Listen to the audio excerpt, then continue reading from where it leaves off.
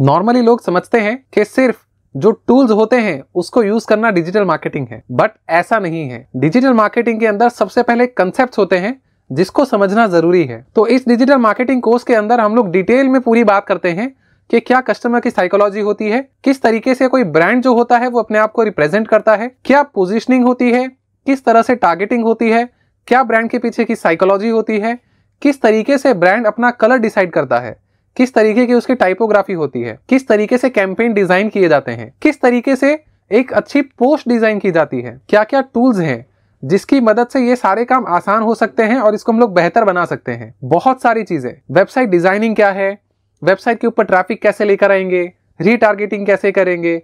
LinkedIn को कैसे use करें? फेसबुक को कैसे यूज़ करें? गूगल एड्स को कैसे यूज़ करें? इस तरह की ढेरों इन्फॉर्मेशन जो होगी वो इस कंप्लीट डिजिटल मार्केटिंग कोर्स के अंदर अवेलेबल है। इस पूरे कंप्लीट कोर्स को सीखने के बाद में आप सिर्फ़ अपना खुद का बिज़नेस ही डेवलप नहीं कर पाएँगे, बल्कि साथ ही में किसी और को बिज़नेस ग्रो करने में भी हेल्प कर पाएँगे। इनफैक्ट मैं कहूँ, आप खुद की एक digital marketing agency successfully run कर सकते हैं। इस लेवल तक की डिटेल के अंदर हमने इस कोर्स में बात की है। तो अगर आपको ये पूरा कोर्स सीखना है तो अभी हमने बहुत ही डिस्काउंटेड प्राइस में कुछ लिमिटेड टाइम के लिए लिमिटेड सीट्स ऑफ़र की है। आप आज ही एनरोल करिए और इस कंप्लीट डिजिटल मार्केटिंग कोर्स का बेनिफिट लीजिए और अपने और दूसरों को बिज़नेस को ग्रो करने में हेल्प करिए।